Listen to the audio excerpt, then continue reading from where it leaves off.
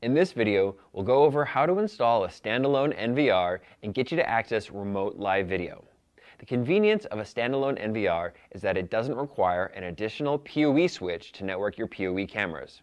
We'll be using TrendNet's TV NVR 104K, a four-channel HD PoE NVR kit which includes two TrendNet PoE cameras, model TV IP 320pi.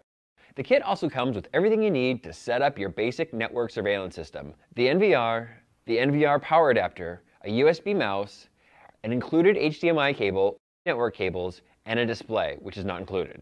Please note that in the NVR kit, the two 100-foot cables are for your cameras, and the 6-foot cable is used to connect the NVR to your network.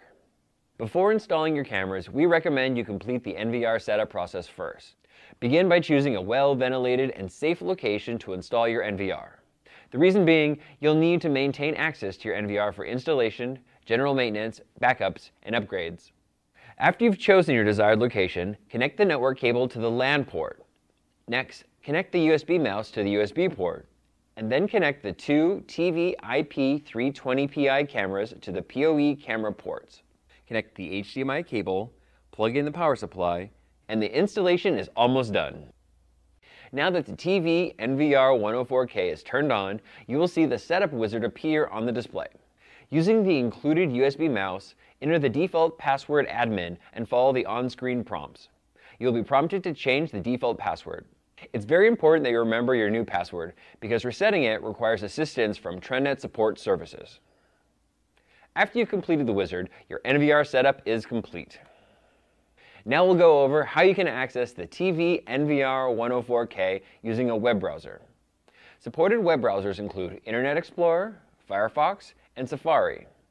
Due to limited support for plugins, Chrome and Edge are not currently supported. To remotely access your NVR, you need to forward TCP port 80 and TCP port 554 to the NVR in your router.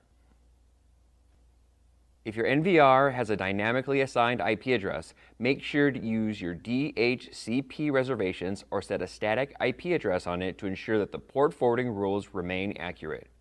If the IP address changes, you will need to update your port forwarding rules. Check your router's user's guide or contact the manufacturer for assistance. From a remote location, you can access your NVR by using your public IP address.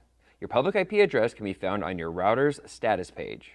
Your public IP address may change, but the use of a dynamic DNS or DDNS service provider can help with this. Many routers include DDNS client built into it. Again, check your router's user's guide or contact the manufacturer for assistance. If your router does not have a DDNS client built in, most DDNS service providers have a software client that you can run on a computer to manage your DDNS records.